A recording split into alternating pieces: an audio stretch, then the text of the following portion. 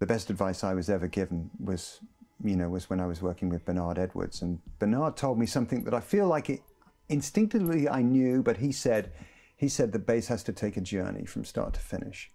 And, you know, being the bass, it's a very nuanced journey. You know, we're not, you know, as players, it's not really about, you know, making something that everybody's going to listen to. You really just, um, for me, if people are moving or smiling, it probably means I've done my job right.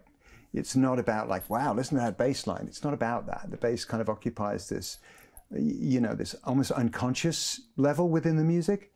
Um, but but you know, as as a player and as a performer, I do want to. For me, there's a there's a story that takes place.